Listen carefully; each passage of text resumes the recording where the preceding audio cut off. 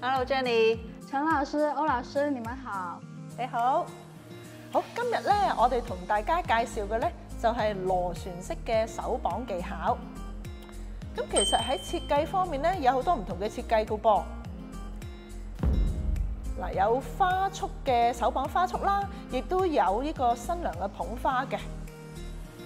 咁而咧喺手綁花束裏邊嗰個設計嘅種類咧，有半球形嘅混合式啦、組群式，同埋半球形嘅多層次開放式，同埋都有半球形嘅有圓錘嘅物料嘅。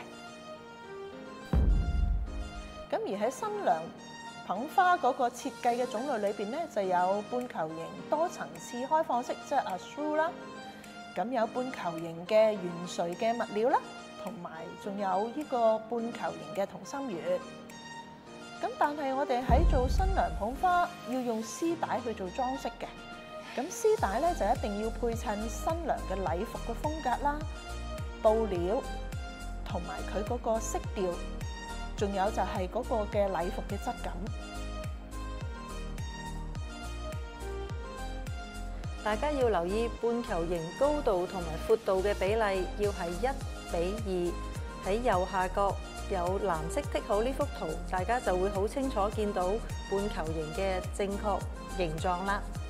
呃，那就是說，我們要注意的是，整個手綁花束的它的半球體要呈現一個一百八十度的水平呈現。啱啦，半球形嘅設計有混合式，混合式即係花材要係平均分布。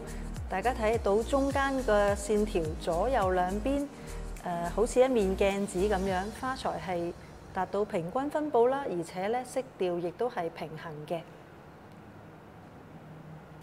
呢個就係半球形嘅組群式設計。組群式就係每一種花材都集中喺相同或者係接近嘅位置，喺左右兩邊，大家會清楚見到兩邊係唔一樣㗎。呃，歐老師，有考生想知道设计手把花束，那要怎样才能做到对称的圆形呢？好啊，咁不如我哋一齊睇下老师示范嘅片段啦。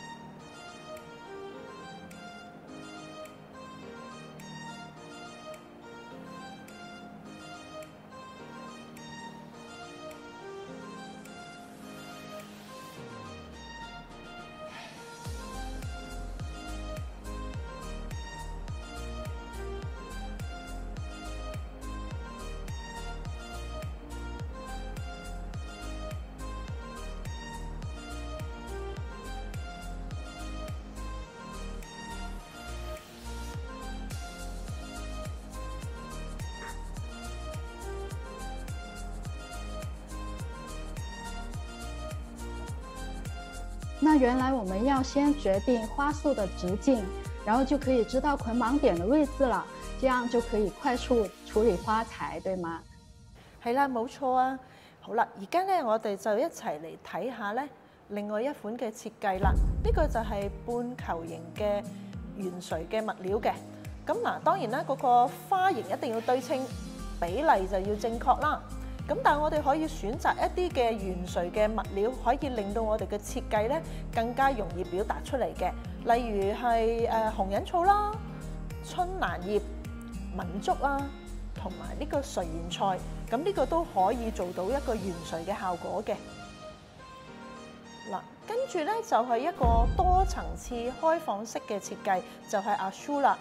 咁嗱，花型一定要對稱啦，比例都要係一定要正確，咁同埋要好明顯咧，可以表現到唔同花材嘅形態。咁仲有你會發覺咧，越近嗰個捆綁點嘅咧，個花材就會係比較緊密嘅。咁越遠離個捆綁點咧，嗰個嘅花材嘅分布嘅空間就會較多啦。咁而且最重要一樣咧，就係話你要睇到咧，就係嗰個花束裏邊咧係有唔同層次嘅花卉植物嘅。陈老师，有很多考生对 Azure 的设计都没有信心，那可以示范如何去设计 Azure 吗？啊，好啊，我哋而家一齐嚟睇下老师嘅示范啦。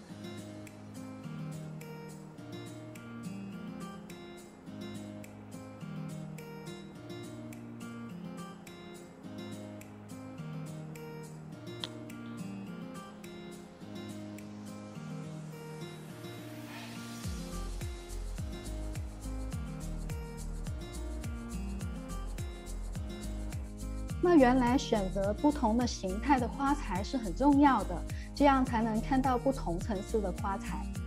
係啊，冇錯啊。咁而呢一個嘅阿 Shu 嘅設計咧，係其實出嚟係好靚噶。咁我哋睇最後另外一個誒設計咧，就係一個同心圓嘅設計喎。咁顧名思義啦，同心圓咧就一定有一個嘅中心點，然之後跟住咧，你會見到每一種嘅花材好整齊咁樣排列成一個環形啦。咁而呢一個好多嘅環形咧，亦都係表達咗唔同嘅一個嘅同心圓嘅設計，係啦。咁所以呢一個設計咧，亦都有係一個屬於一個古典嘅花型嚟嘅。歐老師，我知道評分是設計和技巧都各占一半的，那手把花束是不是捆綁點穩固就可以呢？係啊，呢一點非常之重要，不如等我同大家詳細分析一下。大家見到呢張圖片捆個捆綁點咧，就綁得非常之實，而且咧係非常之整潔嘅。而呢一張圖片咧，大家都應該留意得到螺旋式嘅花腳咧，係所有花腳咧係順住同一個方向傾斜咁排列啦。咁枝徑咧亦都係好乾淨嘅，冇刺啦，冇啲污糟邋遢嘅嘢啦。花徑嘅長度咧，亦都係相同嘅，咁所以咧就每一枝花咧都能夠吸收足夠嘅水分啦。至於新娘捧花咧，咁大家係需要選擇合適嘅絲帶咧去修飾個捆綁點啦。咁呢張圖片咧，大家都會見到咧條絲帶咧係綁得非常之穩固嘅。另外咧就係我想提醒所有嘅考生唔好將手綁花束咧係放喺最後一個項目嗰度製作，如果唔係咧，你太緊張可能會拉斷麻繩㗎，而且仲要預啲時間咧係將個作品擺落花樽入邊。明白了，就是最好要預留時間再調整花型，還有就是盡量先做完花束，那就不會擔心說時間不夠完成，或者是太緊張，那最後把麻繩扯斷，那就很麻煩了。還有就是。花束一定要放进花瓶里面才算完成。係啊，啱啦，冇錯啦。陳老師有什麼方法可以掌握製作的速度呢？嗯，係啦，我都要考試嘅時候咧，考生咧就一定會好緊張嘅喎。咁其實咧，我可以提議大家咧，就係盡量利用考試之前咧有十分鐘嘅時間，就俾考生去處理花材嘅。咁嗱，呢個時間裏邊咧，你可以咧就係將你嗰啲花材整理，然後分類啦。咁你可以將一啲嘅唔要嘅枝葉啊，或者唔靚嗰啲嘅誒花朵啊，嗰啲然之後清除佢嘅。咁尤其係刺，你都可以去將佢誒清除清走嘅咁樣。咁我覺得你可以利用呢一段時間，然之後將個花材就係整理好、分類放喺台面。咁到一開始考試嘅時候咧，咁你就可以好快開始咧就做嗰個花束啦。如果咁樣得唔得咧？太好了，原来可以运用考试前的时间去处理花材，把多余的一些枝叶去处理掉，那真的要好好把握这十分钟了。對了，然后很多学生他的小呃手型都是比较小的，那如果拿着六十多枝花去做花束的话，那真的很困难。那有特殊的方法嗎？誒、我可以俾大家參考一下嘅，因為好多時就算我自己做嘅花束，有時候可能紮九十九支玫瑰花嘅時候啦，咁我都會有機會就係隻手唔夠大，攞唔到咁多枝徑嘅咁樣樣。咁嗱，你可以用一個方法咧，就係揾誒條橡筋啦，咁跟住長少少嘅橡筋嘅，咁然之後咧就係扎到嗰個拎到一個時間嘅時候咧，你覺得太重咯喎，太多花啦，咁於是乎你可以揾個橡筋咧，輕輕將嗰個腳嘅下邊嗰個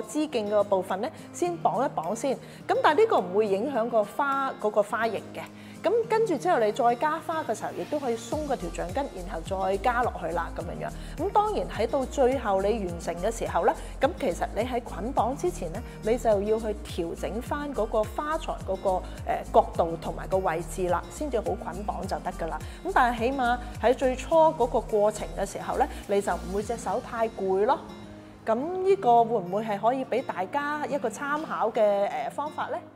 那原來我們還可以借助一些特殊的工具，譬如說橡皮筋這樣子去固定部分的一些花徑，然後再逐漸去加花，呃，最後再用麻繩去捆綁的時候，再把前面的一個橡皮筋要拆掉，對嗎？因為如果萬一說，呃，忘記拆掉那個，呃，橡皮筋的话，就会出现两个捆绑点了，那就，呃，不行。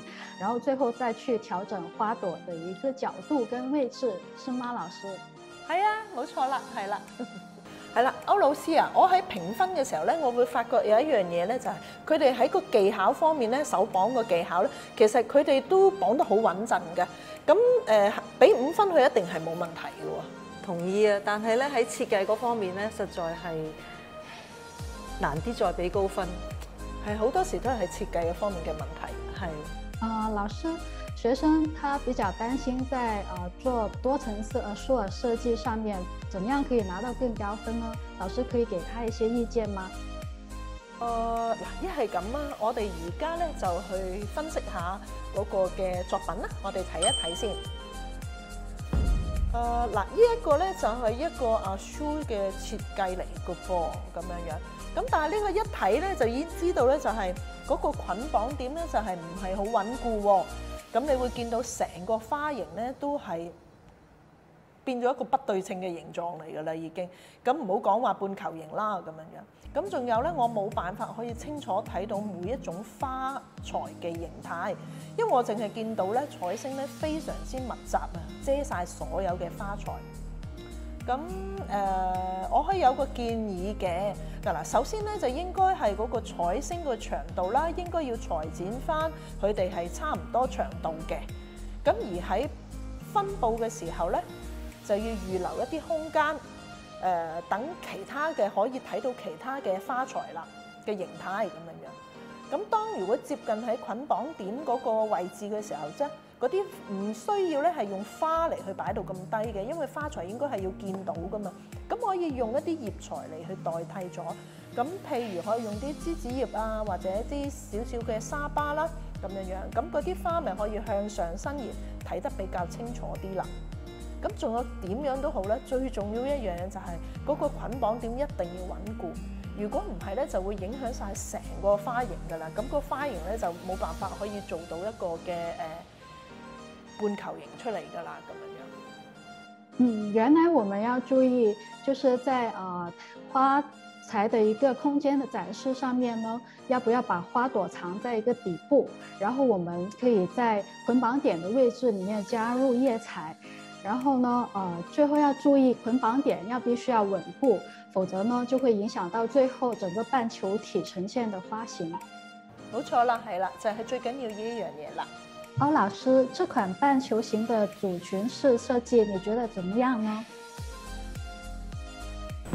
好啊，等我睇下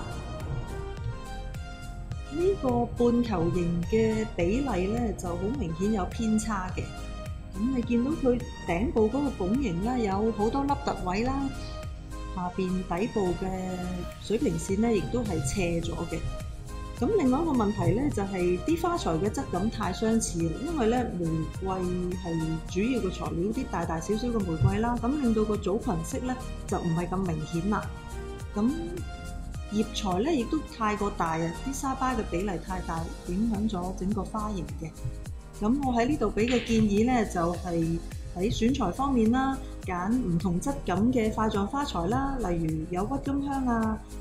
冰賓菊、大理花呢啲都係有唔同質感嘅，咁組群式嘅效果咧就會比較明顯嘅。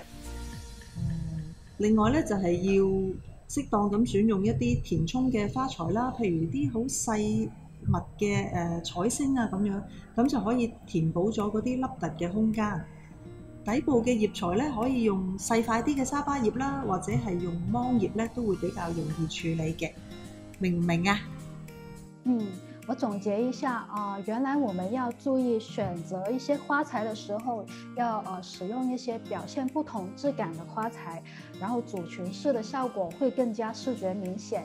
然后中间花与花之间的一个空隙呢，我们可以用一些比较密集的填充花，比如像呃。